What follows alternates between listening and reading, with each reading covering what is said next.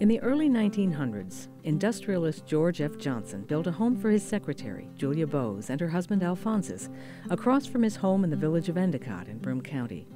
This graceful residence remained a private house for the next three decades until its transformation in 1946 into Colonial Hall, the administrative offices for the Triple Cities College, an adjunct campus of Syracuse University. Early in the 1990s, the home was transformed once more into the Endicott Visitor Center as part of the Susquehanna Heritage Area. With its exhibits focusing on the industrial heritage of the birth of both Endicott Johnson Shoe Corporation and IBM in Endicott, and facilities including a large meeting and banquet room, the Endicott Visitor Center is one of many important stops along New York's path through history.